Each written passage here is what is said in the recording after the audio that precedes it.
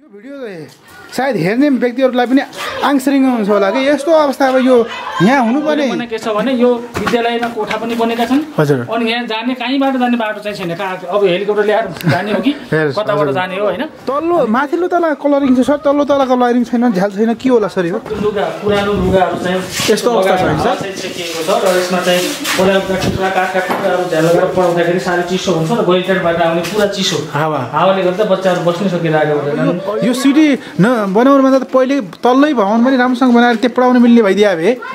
त्यो काम हुन्थ्यो। अब यो अब ठाउँ ठाउँबाट यसरी जानका लागि हो भर्याङ बनाहान। जहाँ बनाउनु पर्ने हो सिडीले बनेको भवन प्रयोग हुन नसक्नु। अनि यो यहाँ आफू त यो चिट्टीको कलर पनि लगाएको छ। तल फेरि बना होइन यो चाबी अब यो हजुरले सिडी नबनाएको कारणले प्रयोग हुन आएको सर सिडी बनेको भए माथिको यो हामी परेमा आउँथ्यो अनि त्यो माथिका नौ दस क्लास एघार बाह्रका चारवटा कोठाहरू यहाँ राख्न सक्थ्यौँ हामी प्रयोग गर्न खास हो सिडी आउने बाटो नभएर कारणले गर्दा रोकिएको। यो बाटो तत्काल बाहिरबाट जेनरली हेर्दाखेरि देखेको समस्या मात्रै उहाँ चाहिँ मैले भनिदिएको हो। यो समस्या हाम्रो व्यक्तिगत नभएर यहाँ आएर सबैको हो। पक्की भवनहरू बनेका भवनहरू चाहिँ प्रयोगमा आइदिने अवस्था भइदिएको भए ती भवनहरू जीर्ण अवस्थामा भए पनि पठन पाठनमा त्यस्तो खालको अप्ठ्यारो पर्ने थिएन भन्ने खालको भनाइ खासमा यो समस्या भन्यो यो समस्या भनेको विगत लामो समयदेखि अब यो त्यो भर्याङै नभएकै कारणले हामीले त्यो विद्यालयमा पठन पाठन गर्न नसकिरहेको अवस्था हो। दोषी चाहिँ को जस्तो लाग्छ दोषी अब त्यो निर्माण अब हाम्रो त्यो भवनको निर्माणको जिम्मा चाहिँ पूर्वबाट अध्यक्ष उहाँले अरू काम चाहिँ गर्नुभयो। त्यो भवनको चाहिँ तलबाट माथि चढ्ने जो सिडी छ नि त्यो सिडी नबनाएको कारणले गर्दा अब हामीले त्यो भवनमा कक्षा कोठा सञ्चालन गर्न सकिरहेका छैनौँ। विद्यालयबाट पटक पटक हामीले उहाँलाई ताकेता गऱ्यौँ अनुरोध गऱ्यौँ। गर्दा पनि उहाँले अब त्यसको सुनाइ चाहिँ सुन्नु भएन। विद्यार्थीहरूको पठनबाट हलपत्र छ माथि चुइने सानाहरू छन् हाम्रो टिनको टिनको सानाहरू चुइरहेका छन् त्यही हामीले कक्षा जस्तो आज पानी आइरहेको छ आज हेर्नुहोस् तपाईँहरू जाउँ हाम्रो कक्षाबाट हामी सञ्चालनै गर्न सक्दैनौँ। हामी एकछिन गएर आयौँ। त्यो एकदम गाह्रो छ गाह्रो छ एकदमै गाह्रो छ। तपाईँले जानकारी गराएँ। यता विद्यार्थीलाई पढ्न अप्ठ्यारो भौतिक संरचना एकदमै जीर्ण भएकोले तर नयाँ भवन बनाए त्यसको प्रयोग नभएको विषयवस्तु। यो विषयमा तपाईँ के भन्नुहुन्छ? नमस्कार। मेरो नाम वीरबहादुर साई म यो विद्यालयको सहायक प्रधानाध्यापक हजुर। अब हाम्रो यो विद्यालयमा अब भौतिक संरचना नयाँ बनिरहेको छ। हजुर। तलतिर दुईवटा भवन एउटा भवन सञ्चालनमा छ तल तलतिर। हजुर। अब माथिपट्टि हामी जीर्ण अवस्थाका भवनहरूमा कक्षा सञ्चालन गरिरहेका छौँ। अब माथि टिनको पाता छ चुइने कोठा छन् झ्यालडोका छैनन्। हो समस्या छ त्यही। अब तल्लो भवनमा हाम्रो एउटा भवन तल्लो उतापट्टिको कमला नगरपालिकाको अघिल्लो कार्यकालको मेयर साहबबाट त्यहाँको कार्यपालिकाले बजेट हालेर अनि प्रदेशको बजेटबाट त्यो भवन बन्यो। कति लागत त्यस्तो? त्यसको झन्डै झन्डै अब लागत एस्टिमेट त अब दुई चरणको तिन चरणको सबै लागत चाहिँ त्यसको चालिस बयालिस लाख जतिको हुनुपर्ने हो त्यो भवन। हजुर। अब सबै ठ्याक यथ- यथार्थ मलाई पनि थाहा भएन।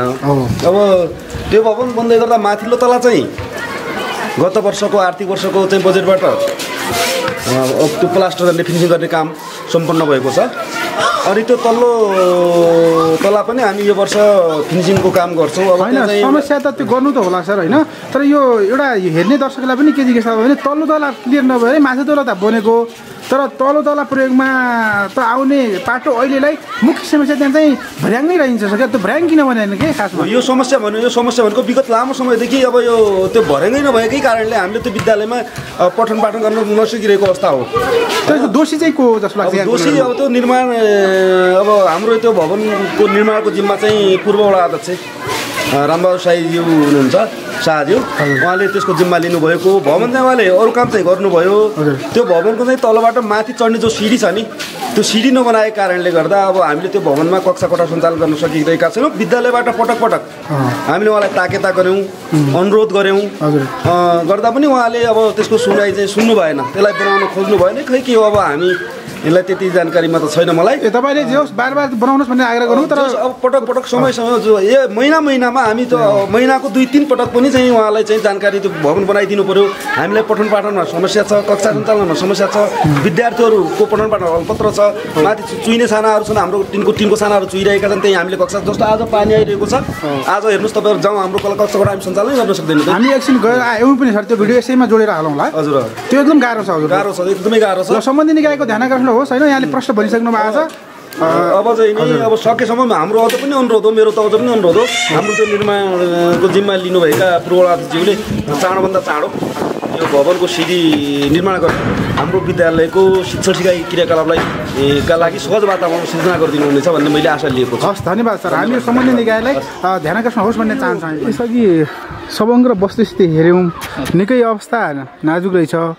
भौतिक संरचना बनेर पनि त्यसको प्रयोग नभएकोले जीर्ण अवस्थाको भवनबाट पनि यो शिक्षण कार्य सञ्चालन भइरहेको रहेछ। यहाँ त लामो समयदेखि यहाँ शिक्षणमा लागिराख्नु भएको छ।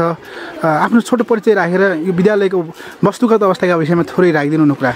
सबैलाई नमस्कार गर्न चाहन्छु। मेरो नाम टेकबहादुर जोनाला हो। घर चाहिँ बिरपथमा नै पर्छ। वडा नम्बर छ। यो विद्यालयको करिब करिब सय दुई सय मिटरको दूरीमा मेरो घर पर्छ। र यो विद्यालयमा म यो विद्यालयमा पढेको विद्यालय पनि दुई हजार अडसट्ठी सालबाट म चाहिँ यो विद्यालयमा शिक्षकको रूपमा कार्यरत छु। यो छोटोमा परिचय। हजुर अब यो अवस्था जो देखियो नि सर कहाँनिर चाहिँ ल्याक अफ कमी कमजोरी कहाँनिर भयो? क्या जस्तो अब म आज चाहिँ संयोगले हेड सर पनि हुनुहुन्न विद्यालय व्यवस्थापन समितिको अध्यक्षसँग पनि कुराकानी गर्ने मौका त मिलिया छैन अहिले होइन? भोलि फेरि लिउँला उहाँहरूसँग पनि। तर अब तपाईँ लामो समयदेखि यहाँ शिक्षण गराइराख्नु भएको भौतिक संरचनाका विषयमा पनि अवगत भए रहँदै आएको र यो नयाँ बन्न लागेका भवनका विषयमा जो हामी अघि गयौँ नि सर यो विषय अलिक गम्भीर लाग्यो कि? अब तल अब अघि त्यहाँ त्यो कुरा त आयो छ। तै पनि के भन्नुहुन्छ? अब कस्तो छ अप्ठ्यारो अघि त्यहाँ कुराहरू थोरै त भन्नुभयो। त्यही त मैले अहिले पहिले पनि यहाँहरूलाई चाहिँ एउटा क्लासको नमुनाको रूपमा मैले देखाएँ। त्यो दस क्लासको कोठा हो। नौ नौको क्लास नौ क्लासको पनि त्यसको तल्लोपट्टि छ यतापट्टि रहेको छ। हजुर। त्यो त्यसको अवस्था पनि त्यही छ। सेम अवस्थामा छ नि त अन्य चाहिँ यतापट्टिका भवनहरू जीर्ण छन् र यिनीहरूमा झ्याल ढोकाहरू मर्मतको आवश्यक देखिन्छ। र अर्को कुरा यतापट्टिका जुन नयाँ जुन पक्की भवनहरू बनेका भवनहरू चाहिँ प्रयोगमा आइदिने अवस्था भइदिएको भए ती भवनहरू जीर्ण अवस्थामा भए पनि पठन पाठनमा त्यस्तो खालको अप्ठ्यारो पर्ने थिएन भन्ने खालको भनाइ हो। र अर्को कुरा यसमा जिम्मेवार सम्बन्धित व्यक्तिहरू हुन्छ नाम चाहिँ विशेष गरेर नाममा र यो समितिवालालाई मैले दोष दिनुभन्दा पनि पक्ष सबैलाई। भन्न चाहन्छु होइन? यहाँ कसै व्यक्ति विशेष विद्यालय व्यवस्थापन समितिले कुनै व्यक्तिलाई जिम्मा दिया होला ऊ कुनै व्यक्तिले अर्कोलाई दिया होला। त्यसमा यसमा दिए होइन? हो। त्यसमा चाहिँ हजुरको जसको सम्बन्धित कुनै व्यक्तिको जिम्मा छ होइन? जिम्मेवार व्यक्ति नै हुनु उहाँहरू चाहिँ हुनु मान मान्नुपर्ने। र मैले चाहिँ यो मे- क्यामेराको अगाडि भएर फलानु फलानु व्यक्तिगत हो भनेर मैले चाहिँ कसै कसैको कमी कमजोरी चाहिँ यहाँ औँल्याइदिन खोजेको कुरा होइन कि यो विद्यालयमा पठन पाठन सुचारू रूपमा होस् र उहाँहरूको चाहिँ ध्यान जाओस् भन्ने शुभ के अरे आग्रह गर्न चाहन्छु। र यो भवन भनेको कोलमबजार नगरपालिकाको आफ्नै बजेटबाट बनेको भवन हो। र लाग्छ जहाँसम्म यो भवन चाहिँ यस कोलमबजार नगरपालिका अँ, का अन्य वडाभन्दा सायद ठुलो भवन हो कि भन्ने। मलाई लागेको छ। तर के गर्ने? तर चाहिँ यहाँ के एउटा उखान छ नि सर? लङ्गामा सुन्छ कान बुझ्छ भने जस्तो भयो कि? लङ्कामा सुन्छ कान मेरो बुटे भन्ने खालको यो चाहिँ उखान टुक्का भन्न जस्तो लाग्दछ लाग्दछ। यो भवन चाहिँ यथाशीघ्र यो परीक्षा अब यो केही दिनमै हाम्रो यो विद्यालयको भनौँ न कोलमजा नगरपालिकाका के अरे विद्यालयका चाहिँ परीक्षाहरू हुँदैछन्। होइन एकदेखि नौ क्लाससम्म बाल विकासदेखि नौ कक्षासम्म परि- परीक्षा हुँदैछन्। ती परीक्षा हुनुभन्दा पूर्व नै सिडी बनाउन सकिन्छ होला यहाँले जमर्को गर्नुभयो भने। र सम्बन्धित जिम्मेवार व्यक्तिले यसलाई यसको ध्यान आकर्षण होस् र अब नयाँ अब आउने नयाँ शैक्षिक के अरे सत्रबाट चाहिँ नयाँ भवनबाट विद्या विद्यार्थीहरूको पठन पाठन सुचारू होस् भन्ने चाहिँ आशा गरेको छु होइन? यसमा अन्यथा केही होइन। र बन् बन्नुपर्ने संरचनाहरू सही समयमा बनेर सदुपयोग हुनुपर्छ। विद्यालय कर्मचारीको चाहिँ यो चाहिँ हाम्रो चाहिँ कोलडाँडाको मात्र नभएर बिरपतको मात्र नभएर समग्र चाहिँ हाम्रो नगरपालिकामा भयो जुन बन्ने भौ- भौतिक संरचनाका छन् अनि विकास निर्माणका गतिविधिहरू छन् ती सबै चाहिँ यथा यथाचित समयमा अथवा उपयुक्त समय हुनुपर्छ र त्यसको सही सदुपयोग हुनुपर्छ भन्ने मान्यता राख राख्नुपर्दछ। र कतिपय रूपमा काम गर्दाखेरि कमी कमजोरी भयो होलान्। र त्यसलाई पनि अब एउटा चाहिँ सही तरिकाबाट चाहिँ छिटो छरिटो गर्नुपर्ने आखिर उहाँहरूले बजेटका कुराहरू होला नि यहाँ बजेट फर्चुर कसरी गर्नुभयो होइन? त्यो खालको अब यहाँ विरुद्धको लागि विरुद्ध भन्ने कुरा पनि आउन सक्छ। तर एउटा यो यहाँको चाहिँ यो संरचना देखाएको छ जे तपाईँहरूले गर्नुभएको छ यहाँका सम्बन्धित सरकारहरूले जे गर्नुभएको छ त्यही कुरा कहाँ अड्किएको छ? कतिपय कुराहरू हामीलाई पनि अनौनमा छौँ। हामी पनि एउटा म त एउटा साधारण यो विद्यालयमा पढाउने शिक्षक मात्र हो किनभने म विद्यालय व्यवस्था समितिमा पनि छैन र विद्यालयको प्रशासनिक जिम्मेवारी पनि मलाई छैन। र एउटा यो यहाँको चाहिँ एउटा अभिभावक पनि हो र एउटा बाहिरबाट जेनरली हेर्दाखेरि देखिएको समस्या मात्रै उहाँ चाहिँ मैले भनिदिएको हो। यो समस्या हाम्रो व्यक्तिगत नभएर यहाँ आएर सबैको हो भन्न चाहन्छु यति नै बोल्छु। हस् धन्यवाद। आज हामी श्री कालिका देवी माध्यमिक विद्यालय बिरपतमा आइपुगेका छौँ र यहाँको के छ वस्तुस्थिति यस अनुगमन गर्नका लागि भनौँ अझ यहाँका विभिन्न समस्याका विषयमा अन्य सम्भावनाका विषयमा त्यो कुराकानी पनि गर्नका लागि हामी आइपुगेका छौँ। र यति बेला हामी यो विद्यालयमा कक्षा दसलाई पढायो भने कक्षा कोठातर्फ जान चाहन्छु। त्यहाँको नौ दसको यो अवस्था यो जीर्ण अवस्था छ भवन फेरि नयाँ भवन पनि बनेको छ। त्यसको कुरा हामी एकैछिनपछि गर्नेछौँ। तर अहिले चाहिँ प्रारम्भिक रूपमा यहाँको अवस्था के छ? अब एकदमै गाह्रो अप्ठ्यारो छ। कसरी पढाउने? यहाँको लामो समयदेखि यहाँ पढाइराख्नु भएको शिक्षक हुनुहुन्छ। उहाँसँग म छोटो कुराकानी गर्छु र यहाँको अवस्थाका विषयमा पनि कुराकानी गर्छु। सर यहाँलाई हार्दिक स्वागत छ। नमस्कार केबिएम टिभीमा। यो कक्षा दसलाई पढाउने कक्षा कोठा हो। हजुर। यसमा झ्यालहरू छैन। झ्याल भएर अहिले भएको सर यो लुगा पुरानो लुगाहरू चाहिँ यस्तो अवस्था छ है, सर? हावा चाहिँ छेकिएको छ र यसमा चाहिँ पहिलाका टुक्रा काठका टुक्राहरू झ्याल लगाएर पढाउँदाखेरि साह्रै चिसो हुन्छ र गोइटाबाट आउने पुरा चिसो। हावा। हावाले गर्दा बच्चाहरू बस्नै सकिरहेको हुँदैनन्। अहिले पनि हावा लागिरहेको अहिले पनि हावा लागेको चिसो छ। यहाँहरूले प्रत्यक्ष रूपमा चाहिँ हेर्न सक्नुहुन्छ। हजुर। र आज बिहानको क्लास पनि यो मैले चाहिँ धेरै चिसो आएको कारणले गर्दा यो लुगा त्यस्तो अवस्था छ हेर्नुहोस्। चालेर चाहिँ त्यसमा हट्टाएर यसरी चाहिँ हजुर।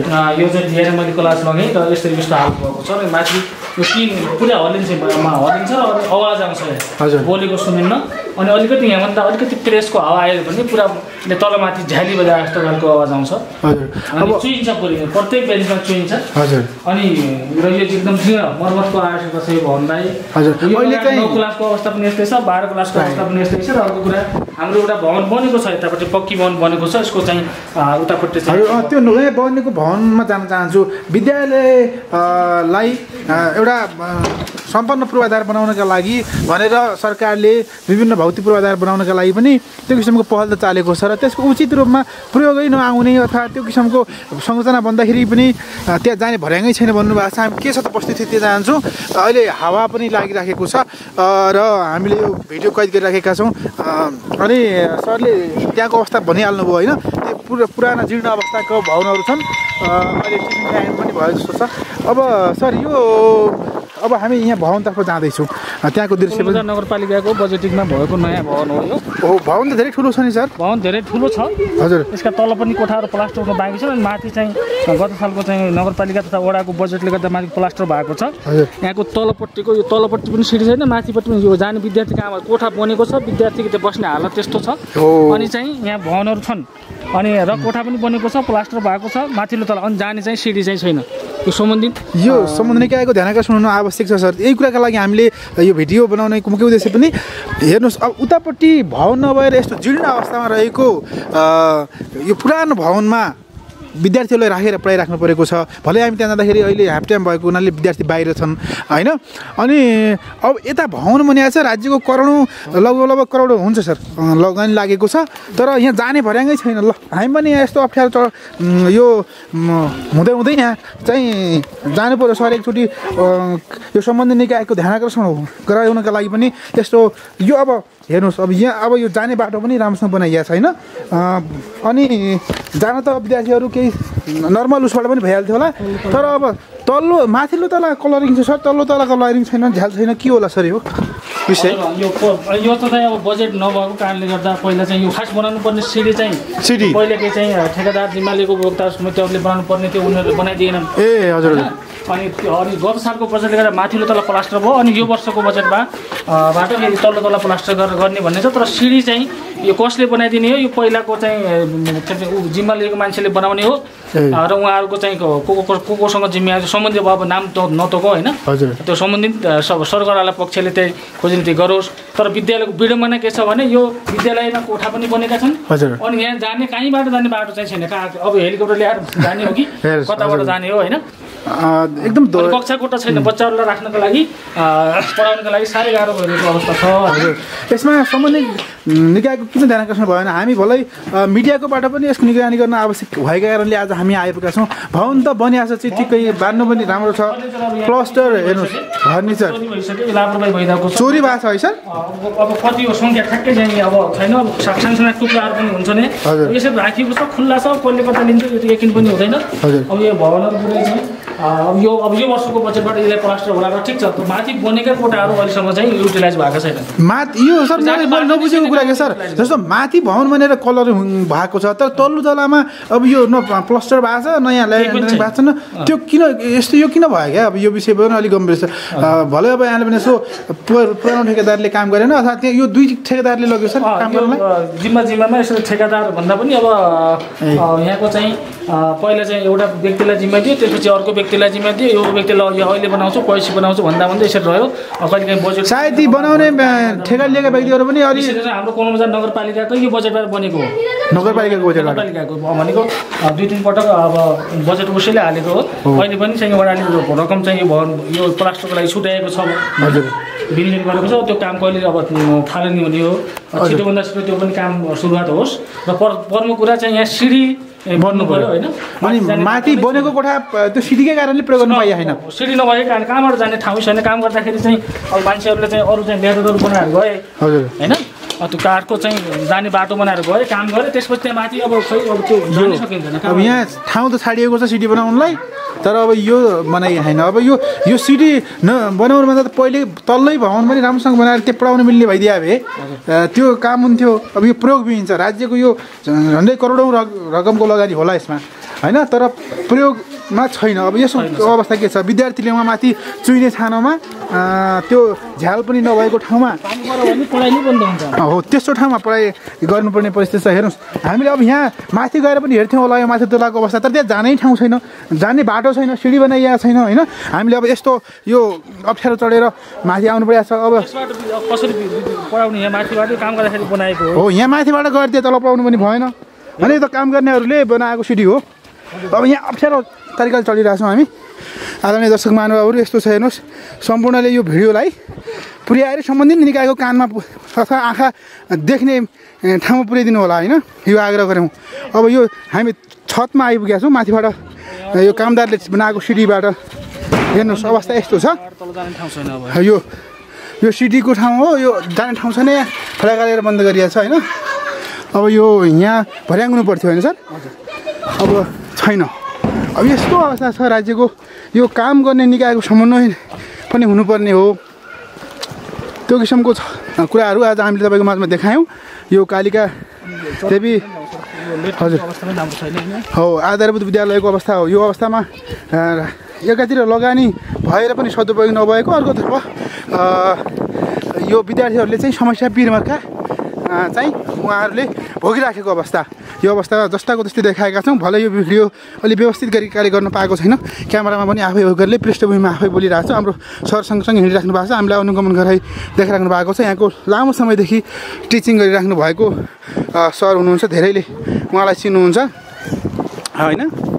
अब यो शौचालयको अवस्था पनि गाह्रो छ नि सर? नाजुक छ। शौचालयको अवस्था पनि गाह्रो छ। जेन्ट्सवाला हो यो। ए जेन्ट्सको।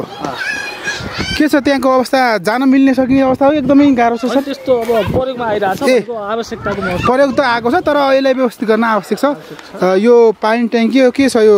यताको यो पानी ट्याङ्की जीर्ण अवस्थामा छ। जीर्ण अवस्था यसको पनि सदुपयोग भएको भए विद्यार्थीले खाने पानी पिएको अवस्था के छ अब? यहाँ पनि त्यो पनि हामी हेर्नेछौँ अब ठाउँ ठाउँबाट यसरी जानका लागि हो भर्याङ बनाहान जहाँ बनाउनु पर्ने हो सिडीले अलिक जोखिम छ नि त।